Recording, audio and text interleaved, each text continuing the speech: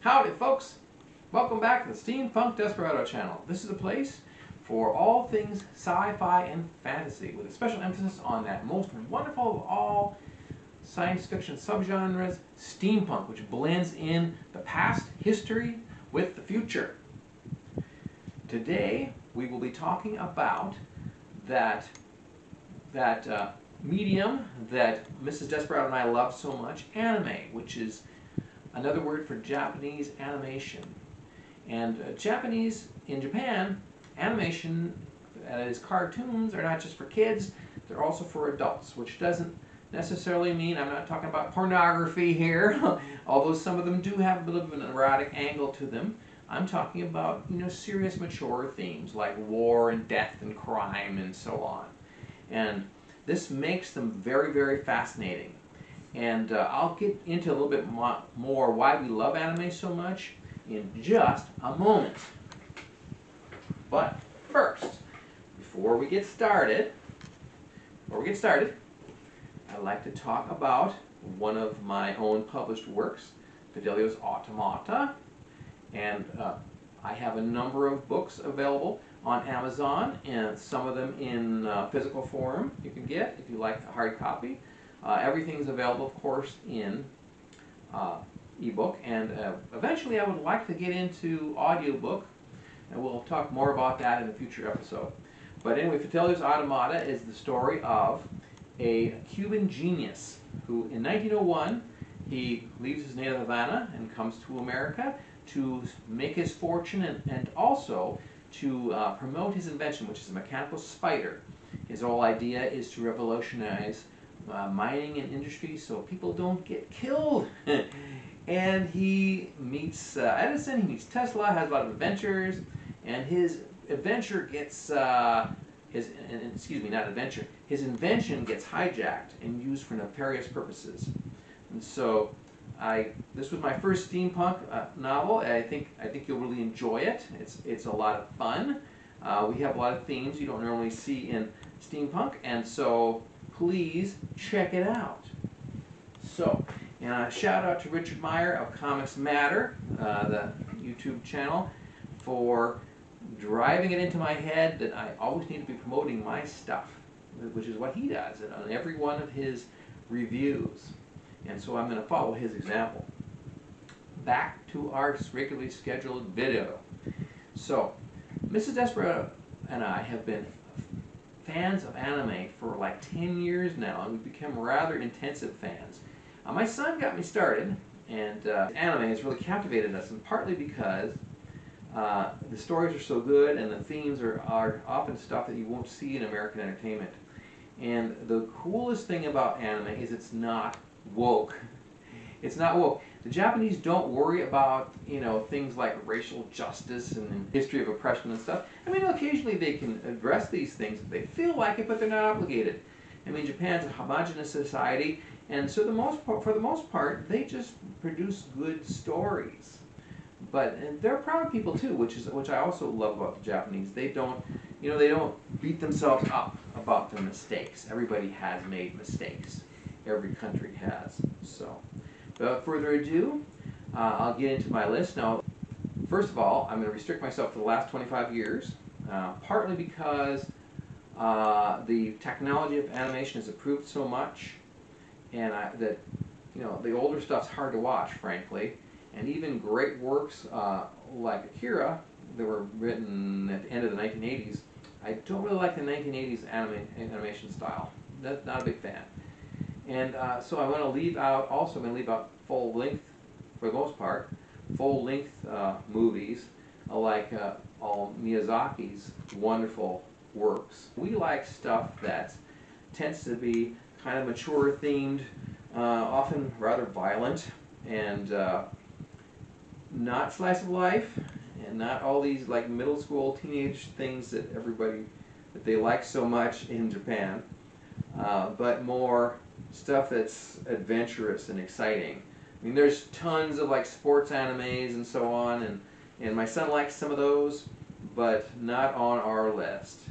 And not really any of the shonen stuff that uh, has been so over overworked uh, in, in this country, like Bleach, for example. that uh, you know, frankly, are made for kids. That's that's fine. That's that's a that's a that's their purpose. But these are made typically for more serious audience. Even though a lot of them have children as protagonists, or they have may have a little bit of a, cutesy art style. Even so, I they're not one of these would I recommend for you know for children for like grade school age children.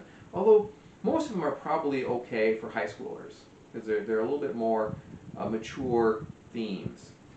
So beginning with number 10, we have Made in Abyss. And uh, in all of these, I'm going to go through the creator, which I consider to be, usually it's the person who wrote the manga, because typically these start with a manga, you know, the, the written form, and the uh, paper form, and uh, get made into a video. Sometimes not. Sometimes they are go conceived as anime, but most of the time because the manga person, the manga artist, writer created the created the thing.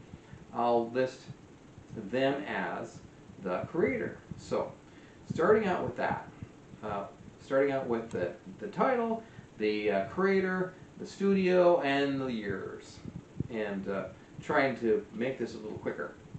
So, starting out with Made in Abyss, we ha have it was a manga by Akihito Tsukushi and the studio was Kinema Citrus, and this was shown in 2017 and 2020. 2020 it was released as kind of a feature length, uh, feature length uh, thing, but I think you know I think that's partly because of COVID. The, their industry was kind of uh, impacted by that, and therefore it's not. And therefore, it's. Uh, I think it would have been released as a series otherwise.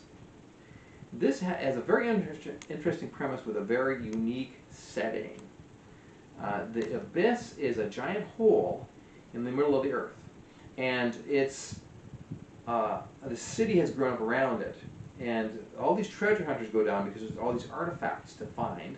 It's dangerous. There's monsters down there. There are evil people down there, and there's physical dangers. You could fall, and there's also, worst of all, there's the curse of the abyss which is there's this weird force down there that provides light. You know, even though it's well below the surface, you still have light, the sunlight. And this force, if you if you go down for a while and come back up, it mutates your body and turns you into a monster or kills you or something like that. So that's that as an added complication to that.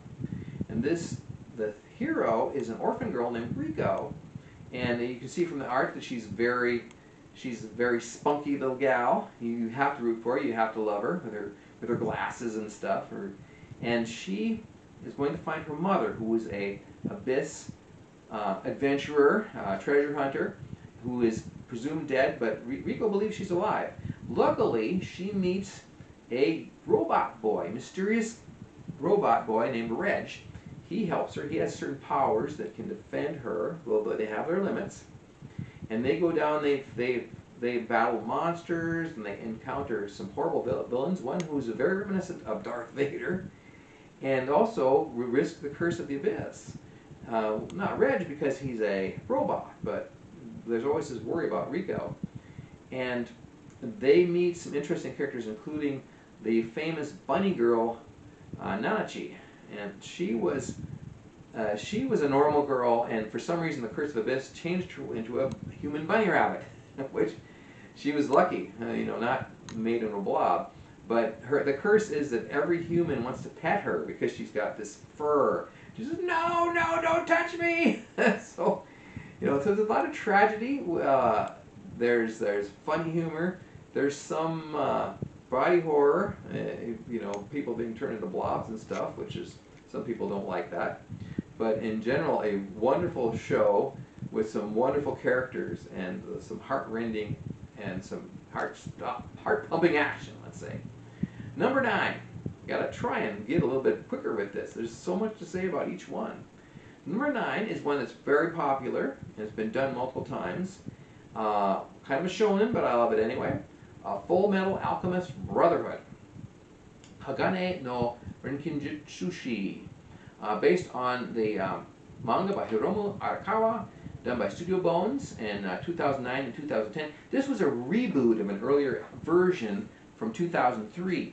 And the reason I like this version better is because its art style is more mature. I didn't really watch much of that earlier one. They, they, they're kind of what we call chibi, which means that they're cute, but the action is very dark and, and very, you know, and so it's more appropriate that, that, that they have a realistic art style. It involves the brothers Elric, uh, Edward and Alphonse. They're alchemists, which is kind of a hereditary power in this magical kingdom of Amnistris. And they encounter a curse. Their mother dies of a disease, and they try to resurrect her from the dead, which is forbidden. And the curse backfires on them, and uh, one loses arm and leg, literally, and he has to have them replaced with mechanic mechanicals. The other, it becomes a suit of a living suit of armor because his body's gone, and they affix him onto that. So he's like this giant robot. And there's all these wonderful characters, many of them, you know, many of them allied to the, the brothers, because they're in the service of the government, the the alchemist alchemist corps, whatever. And the the evil characters are like the seven deadly sins. They're homunculi. They're personifications of that, and uh, including this rather sinister leader of the country, Fuhrer President King Bradley. he doesn't have enough titles on his name, does he? Uh, so, uh, 64 episodes, but worth every worth watching every one, definitely. Uh, number eight, Black Butler, and also called Kuro Shijitsu. And this is based on a manga by Yana Toboso, and uh, from the uh, anime from AI Pictures, 2008 to, to 10 and with some extra episodes in 2014. This was insanely popular in Japan, and this is Mrs. Desperado's favorite. And it takes place in Victorian England. And there's this demon named Sebastian. He's the titular character. He's not African. He just has dark hair, and, and black in this case means he's uh, kind of evil. Yet he's a good. He's also a good guy because he rescues this uh, orphaned aristocrat named Ciel, uh, from these cultists who went to sacrifice him, and uh, he's he's becomes Ciel's protector. At the same time, there's this understanding that eventually he will claim Ciel's soul. so there's this dark undercurrent. There's a lot of really funny, dark humor in this, and and and though the character's a child, it's not for children. Definitely not. There's lots of uh, dark things going on here. You know, zo- including zombies and vampires and so on. And also there's my uh, Mrs. Desperado's favorite character was Ciel's fiance. I know he's only 10, but he's he's engaged. This wealthy, snooty girl named Elizabeth, and yet she turns out to not be what she seems. She turns out to be a lot more of a uh, self-assured, strong woman than we actually suspected. So again, highly recommended. Number seven, I did a show on this one and I forgot to publish it. I didn't edit it, I didn't get it ready, but I will eventually publish it because it was kind of a kind of a steampunkish one. I think I mentioned it on a previous list. Last Exile, based on the manga, which kind of came out at the same time. So I think this was one of the ones that was conceived as an anime by Gonzo, Studio Gonzo. But I guess that's probably a creative team. 2016, 20, 2012. This is a diesel punk. A diesel punk being, like steampunk, only takes place more like the 1920s style and culture with 1920s style and technology. And this adventure actually takes place in the far future, on a human colony world called Prester. And it stars these two teenage orphans, Klaus and Lavi, who inherit this aircraft that their fathers used to use for their business. And it's a, it's a van ship, it's a magnetic, like a magnetic airplane that's it's a little easier to fly because it, it, it you know you don't have to worry about the wings. It holds itself up. And they're couriers. And there's this war going on. There's all these giant airships battling. It's really cool, and a lot of really, you know, awesome old-timey uniforms uh, made. And uh, against this backdrop, they you know, meet a lot of interesting characters, and they take up with this renegade airship that's wants to stop these wars. Now, the sequel, called uh, Fan the Silver Wing, takes place when some of these uh, colonists go back to Earth, and uh, there are these two girls who are air pirates. And as cute as they are, it's not as believable. I mean, not that this isn't kind of fantastic to begin with, begin with, but I just don't see, you know, I just don't see these these teenage girls as willing to kill. And as a pirate, you have to be willing to kill, right? Um, next is one I've already done a uh, done a. Uh, I already did a video about this alone because it's so cool and it's historically interesting called Golden Kamui, based on the manga by Sotaro Noda from studio from the Geno Studio, 2018 to 2020, and uh, it's a historical based adventure and it won a uh, award for spotlighting the culture of the Ainu people. I know I've talked about Japan as being homogenous, but they do have one minority. the Ainu, they're indigenous people, kind of like the Native Americans. They've been pushed up to the northernmost island, Hokkaido. The protagonist is the war veteran from the Russo-Japanese War, early 1900s, uh, Immortal Sugimoto. He's called immortal because he survived against all odds in these horrific battles. And his Ainu sidekick, a teenage girl named Asirpa. She's kind of counter to Asirpa, uh, Ainu society in that she's a hunter. She not she hasn't you know she's not just you know raising the crops and, and cooking. She's a hunter, and so she teaches she teaches uh, Sugimoto a lot about their culture. And this is against the backdrop of this treasure that Sugimoto is trying to find, this gold that was supposedly stolen from the Ainu. And so she want they just want to restore it to her people, but there's other people who are looking for this gold for themselves. It's been called the Japanese Western because we have a lot of the same things. We have a disgruntled war veteran, we have corrupt military officials, we have hunt for treasure, we have ruthless criminals, and we have natives who are wise with the uh, lore of nature. And uh, for this reason, it, it received a, a, an award. For this reason, it, it received an award for spotlighting Ainu culture. And it's got some violent moments. It's got some horror elements in place, so beware of that. Mostly historically uh, believable, but there's some weird black magic going on at, at the place. There's a there's a mad scientist who is transgender.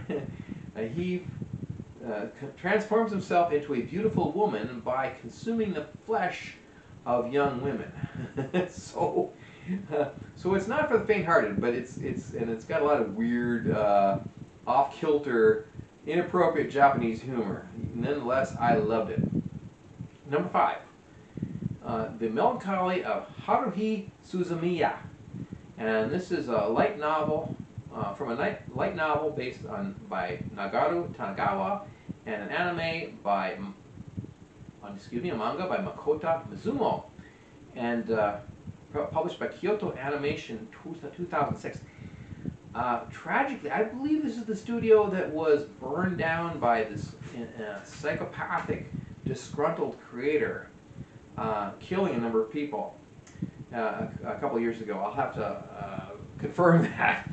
but Haruhi, the title character, is a high school girl. She's this ordinary, cute, popular high school girl uh, who unknowingly, even to herself, has godlike powers.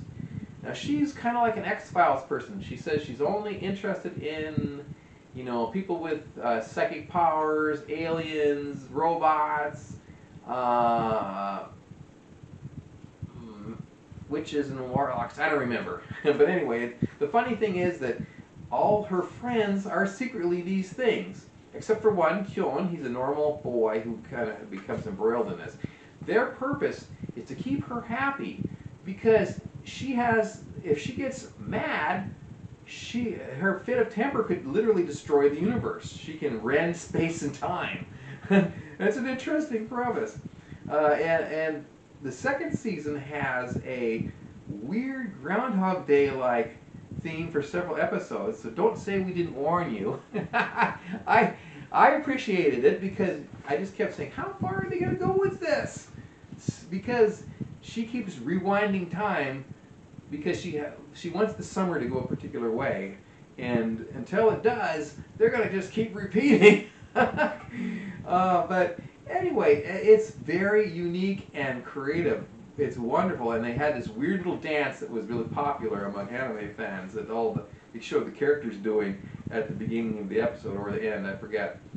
Number four, here's a cult classic that I particularly love, and a few people know about it, and I want to promote it as much as possible. It's called The Eccentric Family.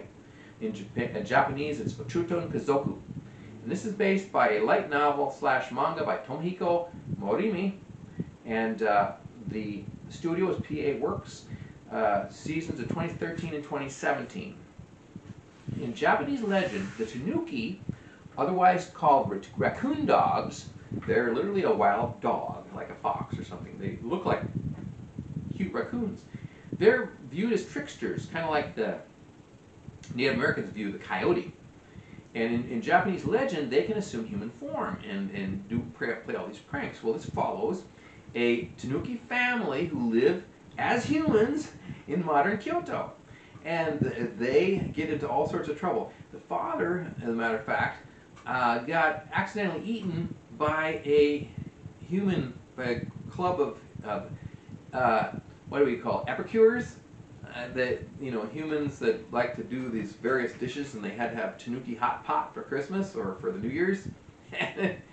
and uh, so these all these weird characters. The main character is Yasaburo. He's a he's the third of a family of four boys, and he sometimes appears as a cute teenage girl because he can. and he has this weird relationship with this human woman named Benten, who's kind of sinister. We get the we get the message that she's she's um, partly responsible for, for the death of As- Asaburo's Yasaburo's father, and also she's trying to steal magic powers from this Tengu, who's a birdman, another Japanese legend. He's this crotchety old uh, eccentric man who was like their teacher, the, the, the Tanuki's teacher. And he's another fun character too. Very, uh, very funny uh, and touching because this family goes through a lot and you really, you really, uh, you know, sometimes it'll bring tears to your eyes. It's, it's so cool. Number three, Kill la Kill. Another uh, insanely popular show among anime cultists uh, based on a manga by Ryo Akizuki uh, and also there's screenwriter Kazuki Nakashima uh, from Trigger 2013 to 15. I almost hesitate to recommend this because in today's really insanely puritanical climate, it involves teenage girls battling in what amounts to string bikinis. uh, it's partly a, a satire on um, anime tropes. And so that's that's one of it. It's like the magical girl theme and what we call fan service, which is having sexy characters, uh, gratuitously sexy, because uh, there's no reason to fight in a string bikini. which what these are is these are power suits that that uh, are alive, but when they get into battle mode, they become very scanty for whatever reason. They start looking like a school uniform, schoolgirl uniform and become very scanty, which is ri ridiculous. That, but that's part of the, that's you know that's a an anime trope. The uh, hero is a um, is a girl is a tough girl named Ryuko, and she's I have seen fetish fetish stuff on the internet for her. She's so she's she's so she's such a uh, badass girl, uh, and uh, of people of girls dressing like her, basically. And she's out to avenge her father's death. She carries this giant scissors, which she uh, half a scissor, which she wields like a sword, and she's battling this evil fascist high school, and uh, that uh, is organized like an army, and especially the school president, who is another another uh, attractive young girl, and uh, her um, I think its name was Satsuki, and her school uniform is is alive, is called Kamui of all things, and it's called Senketsu, and it talks to her, and it gives her strength to battle, but at the same time, he becomes very skimpy when she's battling, which is very stupid, but hilarious. The, there's insanely over-the-top violence, just ludicrous, and uh, these the this whole they, they have this pun on fashion because the fashion industry has this has this conspiracy to produce these suits, and the and the, and the uh, school is fascist. Even the marching band they have weapons, you know, and so it's it's just just take it as a satire, uh, being kind of mocking all these anime tropes, and uh, you know maybe you won't be offended by it too much.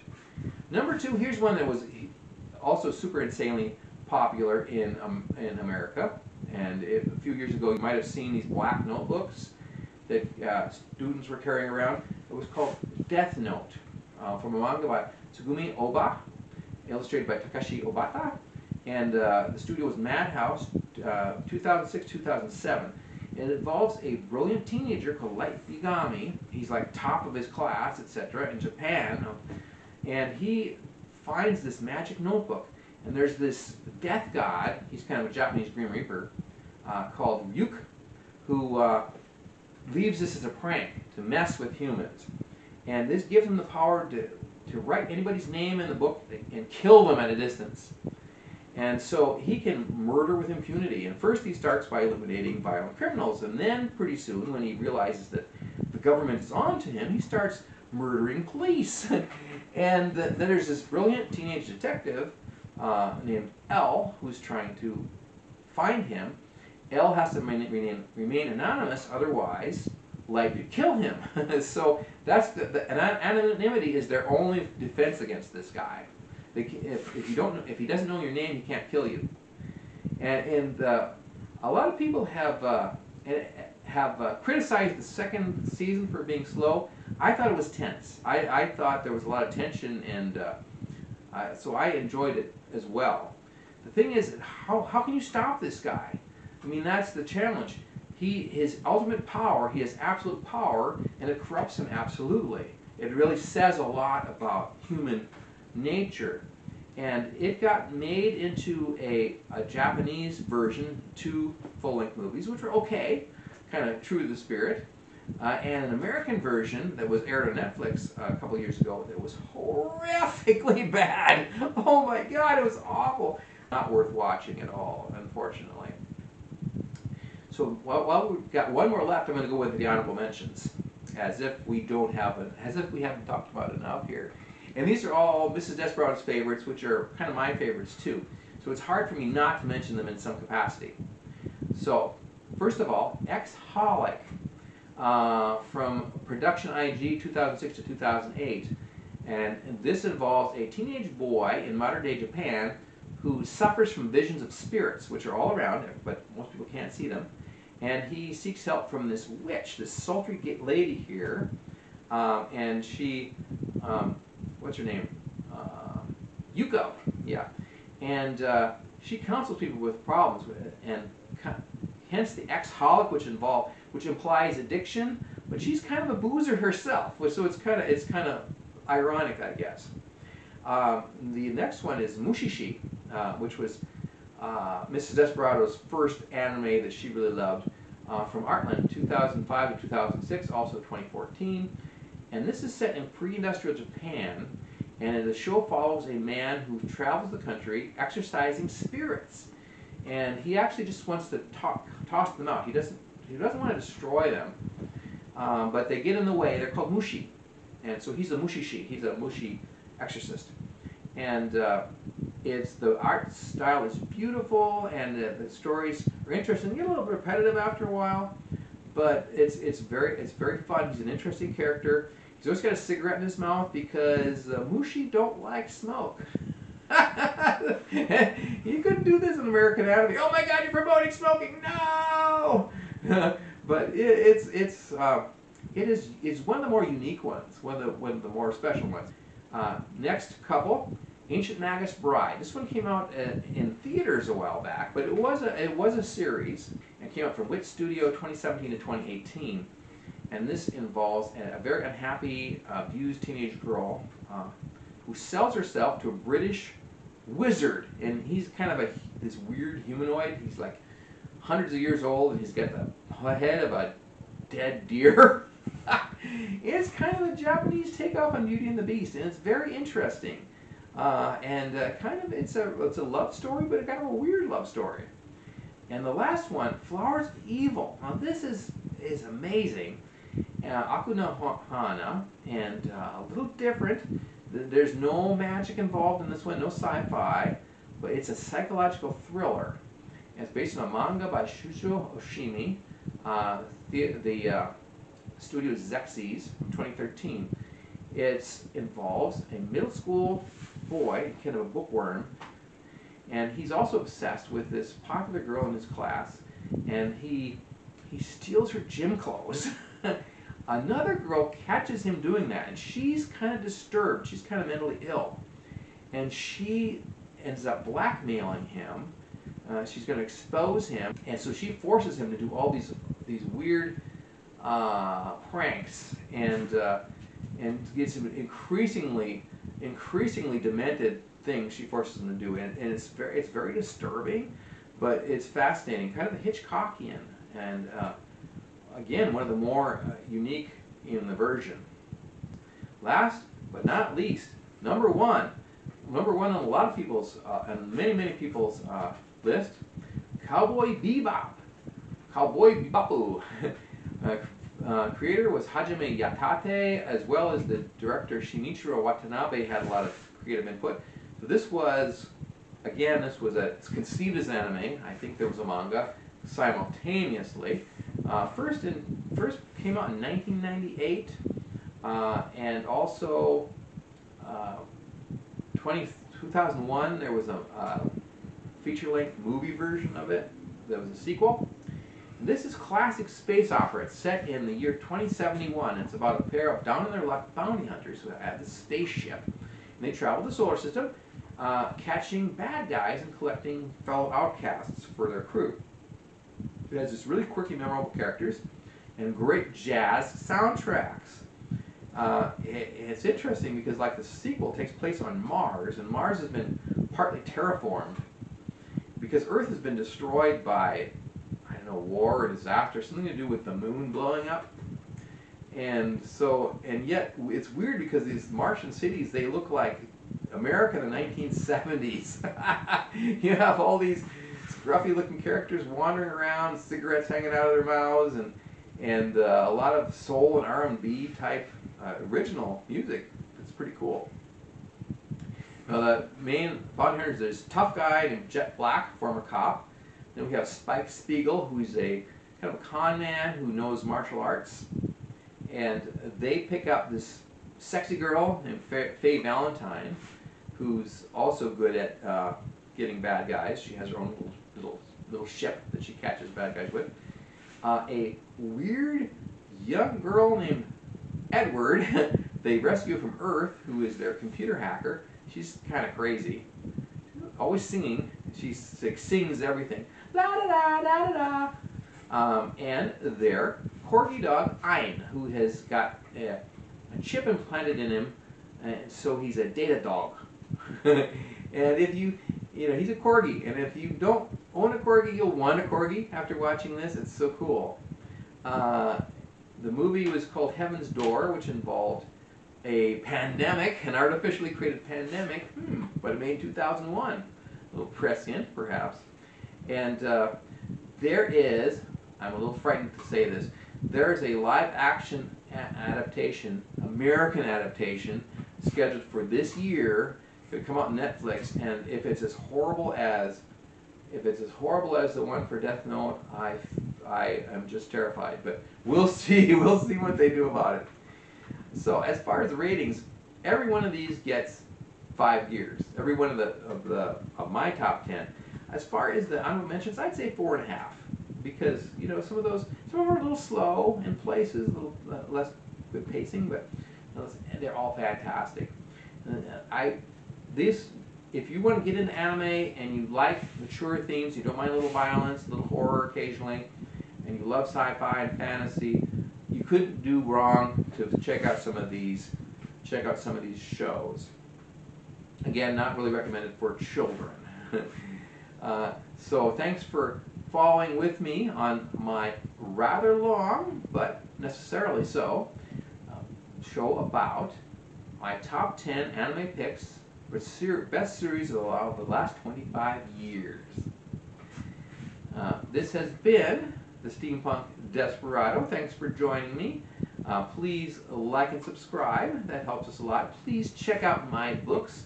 I'm going to put links on here Uh, if you want to support me, you can buy some, and uh, I will be coming out with more books soon, which I will talk about on later vi- videos.